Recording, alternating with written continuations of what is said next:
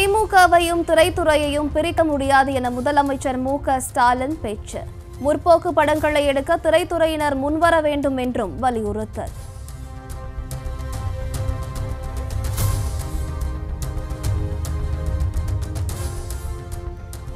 இரண்டாயிரத்தி இருபத்தி இரண்டு இருபத்தி மூன்று நிதியாண்டுக்கான சென்னை மாநகராட்சியின் பட்ஜெட் தாக்கல்.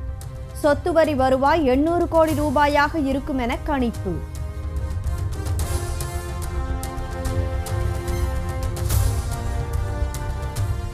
சென்னையில் வார்டு மேம்பாட்டு பணிகளுக்காக கவுன்சிலர்களுக்கு தலா முப்பத்து ஐந்து லட்சம் ரூபாய் நிதி. இருநூறு வார்டுகளுக்கு மொத்தம் எழுபது கோடி ரூபாய் ஒதுக்கீடு.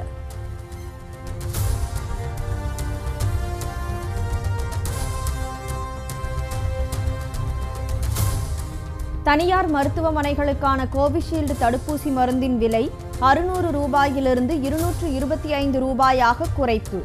மத்திய அரசுடனான ஆலோசனைக்கு பிறகு சீரம் நிறுவனம் அறிவிப்பு.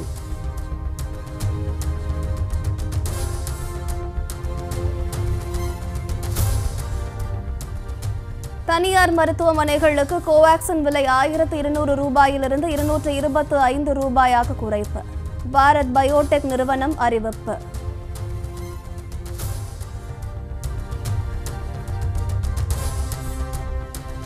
தமிழகத்தில் இனி கொரோனா தடுப்பூசி மெகா முகாம்கள் கிடையாது. தேவைப்பட்டால் மாவட்ட நிர்வாகங்கள் முகாம் அமைத்துக் கொள்ளலாம் என்றும் சுகாதாரத்துறை அறிவிப்பு.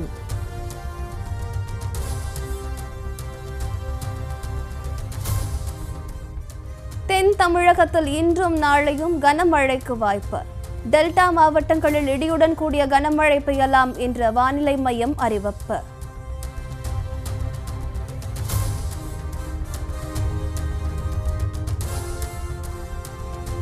திருப்பதியில் அலைமோதும் பக்தர்கள் கூட்டம். கட்டுப்படுத்த முடியாமல் இலவச தரிசன டிக்கெட்டுகளை தருவது நிறுத்தம்.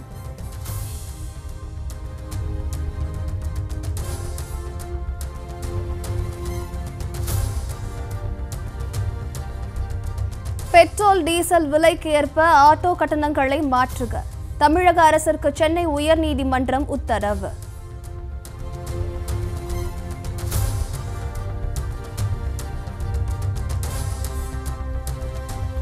இந்தி திணிப்பை ஒருபோதும் ஏற்றுக்கொள்ள முடியாது. அமித்ஷாவின் பேச்சுக்கு ஓ. பன்னீர்செல்வம் எதிர்ப்பு.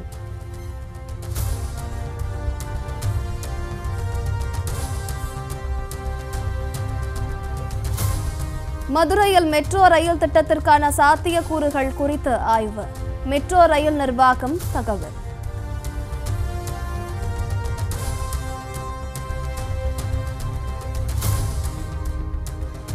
இந்திய கடல் எல்லைக்குள் நுழைந்த ஈரானிய படகு குறித்து உளவுத்துறை என்ஐஏ அதிகாரிகள் தீவிர விசாரணை. சென்னை துறைமுகம் கொண்டுவரப்பட்டு படகிலிருந்த பதினோரு பேரையும் அழைத்துச் சென்று விசாரணை.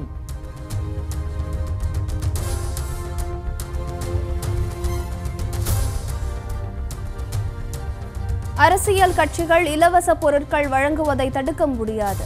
உச்சநீதிமன்றத்தில் தேர்தல் ஆணையம் கைவிரிப்பு.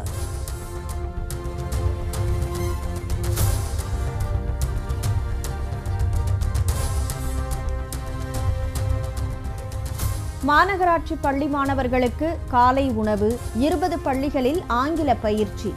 எழுபது பள்ளிகளில் இணைய வசதி ஏற்படுத்தப்படும் என்றும் சென்னை மாநகராட்சி பட்ஜெட்டில் அறிவிப்பு.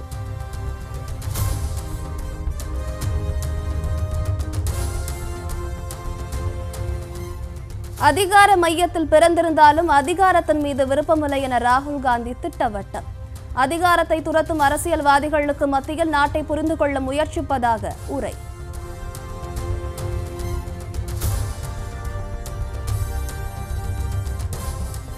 கேரளாவில் நடிகை கடத்தப்பட்டு பாலியல் வன்கொடுமை செய்யப்பட்ட வழக்கு நடிகை காவ்யா மாதவனுக்கு முக்கிய பங்கு உள்ளதை நிரூபிக்கும் உரையாடலால் அதிர்ச்சி ഇത് ശരിക്കും പറഞ്ഞ എന്റെ ശരത്ത ഇത് മറ്റവർക്ക് വച്ചിരുന്ന സാധനം മനസ്സിലായില്ല? നമ്മൾ ഇന്നലെ ഇരുന്ന് ഞാൻ മിനിയാന്നൊക്കെ ഇരുന്ന് ഒരുപാട് ഇരുന്ന് അതിൽ വായിച്ച. ഇതെന്ന് പറയുന്നത് ശരിക്കും കാവ്യെ കൊടുക്കാൻ വേണ്ടി അവരെ കൂട്ടുകാരികളെല്ലാം കൂടെ കൂടെ നിന്ന് പണിയെടുത്തപ്പോ തിരിച്ച് എവർക്ക് ഒരു പണി കൊടുക്കണമെന്ന് പറഞ്ഞു കൊടുക്കും குஜராத்தில் எக்ஸி வகை கரோனா பாதிப்பு கண்டறியப்பட்டதா? மருத்துவ வல்லுநர்கள் திடீர் ஆய்வு.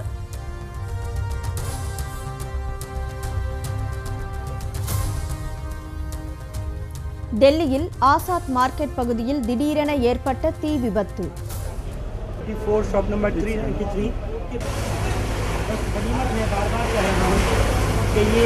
दोपहर का वक्त नहीं है। ஏழு தீயணைப்பு வீரர்களுக்கு காயம்.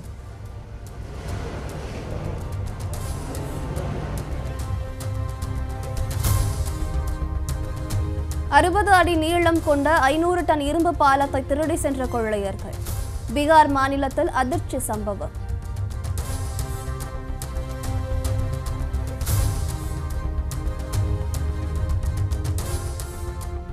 கடும் அமளியால் ஒத்திவைக்கப்பட்ட பாகிஸ்தான் நாடாளுமன்றம் மீண்டும் கூடியது. வெளிநாட்டு சதி குறித்து விவாதிக்க ஆளுங்கட்சி வலியுறுத்தல்.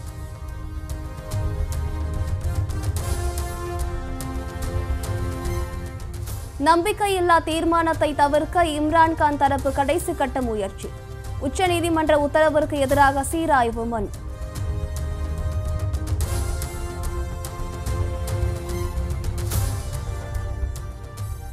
கடும் பொருளாதார நெருக்கடியால் இலங்கை முழுவதும் போராட்டங்கள் தீவிரம்.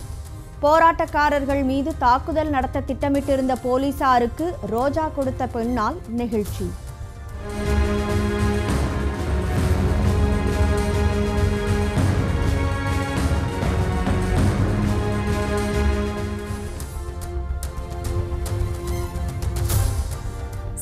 சேலத்தில் கோவில் திருவிழாவில் நடனமாட சொல்லி ஆரவாரம் செய்த ரசிகர்களால் கோபமான நடிகை ஆண்ட்ரியா நாள் முழுக்க நியூஸ் தமிழ் சோஷியல் மீடியா பேஜஸோட கம்ப்ளீட்டா கனெக்டடா இருக்கீங்களோ அதே போல நியூஸ் தமிழ் தொலைக்காட்சியையும் பாருங்க. உங்கள் அபிமான நியூஸ் தமிழ் தொலைக்காட்சியை தமிழ்நாடு முழுக்க இருக்க கேபிள் நெட்வொர்க்ஸ்ல பார்க்கணும்னா ஸ்க்ரீனில் டிஸ்ப்ளே ஆகிற சேனல் நம்பர்ஸை நோட் பண்ணிக்கோங்க.